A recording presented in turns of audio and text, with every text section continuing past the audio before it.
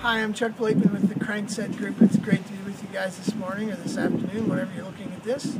And uh, I'd love to just give you uh, two to three minutes of things to, uh, to discuss when this video is over. I'm going to talk about the difference between an employee and a stakeholder.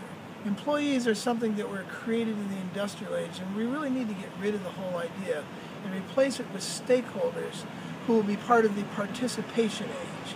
The participation age is about sharing and participating in the building of a great company, we all do that together.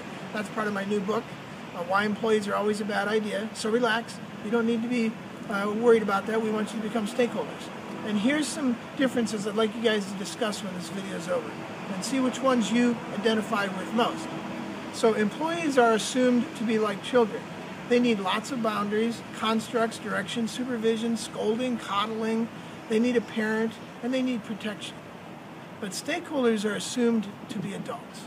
They need vision of what is possible, support, a champion, a community, tools, a space to create, innovation, and the, and the ability to produce.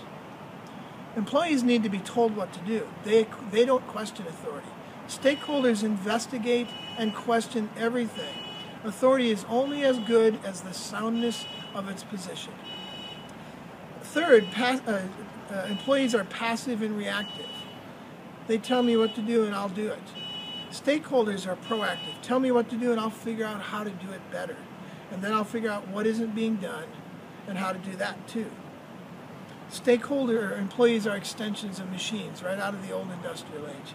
There's a lot of HR policy stuff discouraging me to be human at work. I leave myself in the car when I come in each day. I just try to get by. I'm an extension of a machine. I just bring the skilled part of me to work. But stakeholders bring the whole messy, creative person to work. All of me comes to work every day. I get involved in the community at work, and it makes me more productive. And lastly, employees come to work to make money. I'll work longer hours only if I have to make a little extra, but stakeholders come to work to make meaning. This is rewarding stuff I do here at work. I both I make both money and meaning. I should get home now. It's late. So which one are you? Are you an employee or are you a stakeholder? Stakeholders are, the, are, are part of companies that are going to thrive in the coming years in the participation age.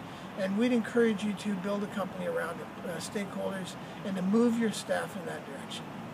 Uh, if you want to get to, to know more about what we do, it's chuckblakeman.com or chuckblakemanspeaker.com, or you can go to Amazon and take a look at the book, Why Employees Are Always a Bad Idea. Thanks for uh, having me with you. I look forward to hearing your feedback.